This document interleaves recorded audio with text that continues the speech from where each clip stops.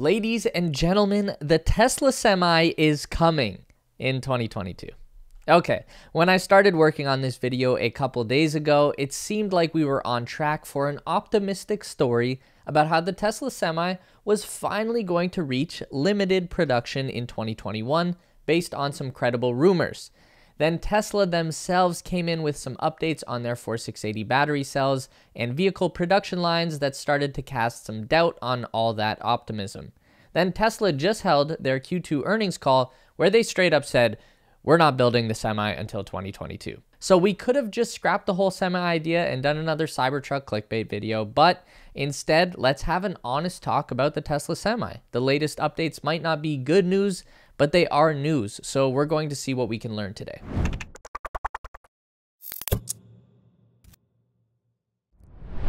So, back in January of 2021, Elon said on the Q4 earnings call that the engineering work on the Tesla Semi had been completed and deliveries were expected to begin this year. He did add the caveat at the time that the availability of battery cells could limit the company's ability to produce the Semi. On that call, Elon said, quote, the main reason we have not accelerated new products like, for example, Tesla Semi, is that we simply don't have enough cells for it. If we were to make the Semi right now, and we could easily go into production with the Semi right now, but we would not have enough cells for it. And since you can't really be a Tesla fan without also being an eternal optimist, we all conceded that, well, they'll probably figure out the whole battery situation and everything will be fine. It wasn't. Flash forward to the Q2 earnings call that just wrecked my video idea a few hours ago, and we hear Tesla admitting that Semi is on the back burner until sometime in 2022. Here's what Tesla wrote in their letter to shareholders released on Monday, July 26th. We believe we remain on track to build our first Model Y vehicles in Berlin and Austin in 2021. The pace of the respective production ramps will be influenced by the successful introduction of many new product and manufacturing technologies, ongoing supply chain related challenges, and regional permitting. To better focus on these factories and due to the limited availability of battery cells and global supply chain challenges, we have shifted the launch of the semi truck program to 2022. We are also making progress on the industrialization of Cybertruck, which is currently planned for Austin production subsequent to Model Y. That would make the Semi the most heavily delayed of Tesla's many delayed projects. The Semi was unveiled in 2017 with a production goal of 2019. So we're looking down the barrel of a three year delay. The reason this setback comes as a bit of a surprise is, as mentioned in our last video on July 20th, the good people at Electrek reported that the Semi was finally nearing production, and everything felt very triumphant. Now, I'm not saying Electrek were wrong in their reporting. They're an extremely good source for information, by far one of the most viewed web pages. But they were wrong in the assumption that they pulled from that report about semi production. And I get that everyone needs a clicky headline, it's the internet. There was some really positive news in that report that we will get into a little later in the good news section of the video. But first, so, we really should have started bracing for bad news over a month ago when Tesla's head of their brand new heavy trucking division, Jerome Guillen, departed the company under unknown circumstances. Which is to say, we still don't know if Jerome quit or was fired or what happened to him. Before moving to the semi project, Jerome had been Tesla's president of automotive since Q3 of 2018. He would have been the person in charge for many of the company's biggest milestones the production ramp up of the Model 3, the opening of Giga Shanghai, the launch of the Model Y, but also he was in charge of some not so good stuff like the quality controlled nightmares of the Model Y, and he failed the launch of the new Model S and Model X that was supposed to happen in the spring and is still to this day struggling to get going. In March, he was announced as the new lead of Tesla's heavy trucking project, and by June 3rd, he had pieced out. According to Jerome's LinkedIn page, he still works at Tesla. He hasn't updated in the nearly two months he's been gone, so that's a little bit sus.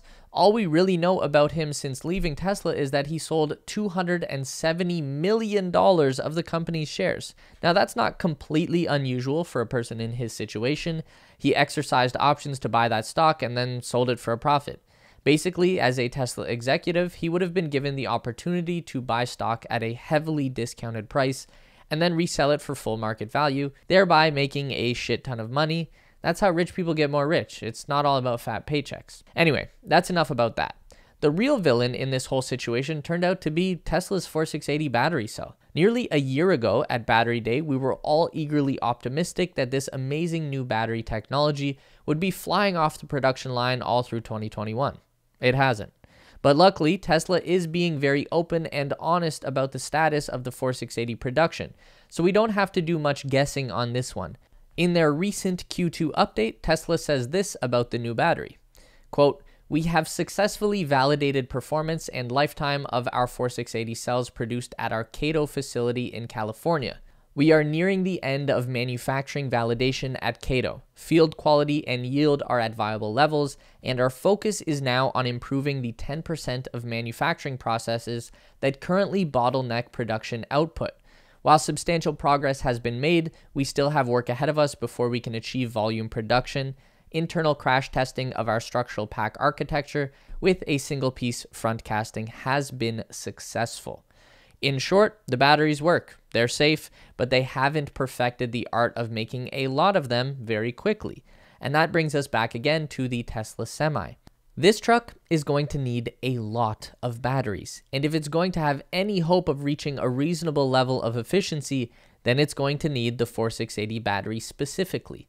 And we're just not there yet, not for the Semi at least. From all of the information that Tesla has released over the past few days, they still seem to be very optimistic about the new Model Y reaching production in 2021, and that's the pot that all of the existing 4680 cells will be going into. If Semi and Cybertruck are on the back burners, Model Y is very much on the front burner.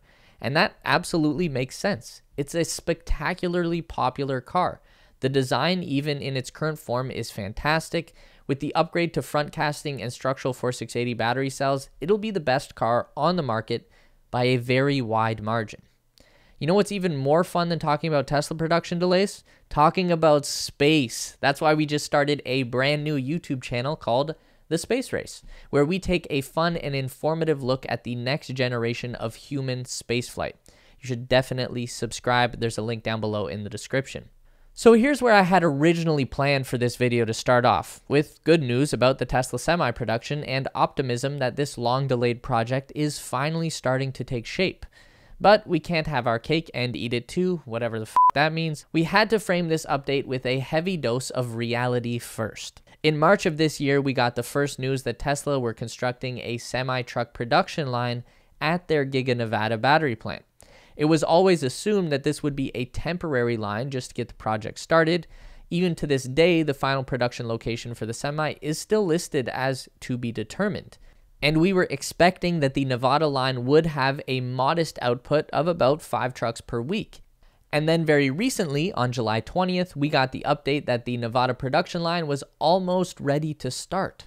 Quote unquote, Sources familiar with the matter told the website Electrek that the drive axle production line is ready and the general assembly line is going through its final debugging before starting production. So, like I said off the top, it's not that this information is wrong, it's probably accurate. The production line is moving towards a state of readiness. It's just that we, the eternally optimistic Tesla fans, jump to the conclusion that just because it's ready to start means that it's going to start. Knowing what we know now, it absolutely makes sense that Tesla would be readying their production facility for the semi truck, even if it's not going to final assembly anytime soon. They would just put the whole project on pause and sit on their hands until the batteries are ready. Tesla can get everything in order, work the kinks out, debug, train staff, find efficiencies, and all of that over the next few months. Then, when the day finally comes that the battery cells are flowing, they can just start slapping trucks together and firing these bastards out the door. So, I know that this is a different kind of video than most of the Tesla content out there, and maybe no one will watch it because of that. I want to stress that I'm not saying we should stop being optimistic about Tesla or that we should all just start acting like a bunch of miserable assholes and hating on everything. I'm just saying that it's good to do a reality check every now and then, just to make sure that we aren't living in a fantasy bubble. That's something we want to keep doing here on the channel, and I hope that you, as the viewer, will want to keep exploring these ideas along with us. Please leave a comment and let us know if you appreciate this type of content.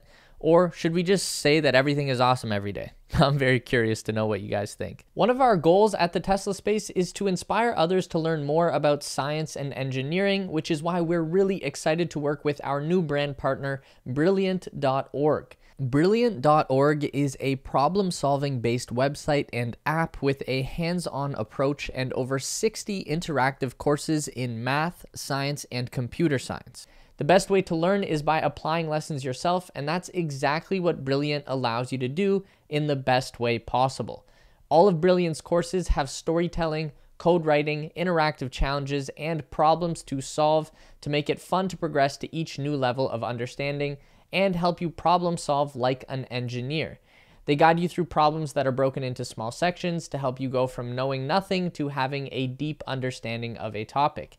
And if you answer incorrectly, it will tell you exactly why and break down the information for you to correct any misconceptions. We need more engineers and out-of-the-box thinkers in our world, so go to brilliant.org slash the Tesla space and sign up for free. And also, the first 200 people that go to that link will get an additional 20% off the annual premium subscription. By the way, don't forget to sign up for our weekly newsletter. It's pretty cool. Subscribe to our new space channel. It's even better. Links to both in the description below. As always, if you want to continue to learn about everything regarding Tesla, SpaceX, and Elon Musk, we've got two more video options for you on the screen to check out. Don't forget to give this video a thumbs up today if you liked it and subscribe to our channel for weekly content just like this.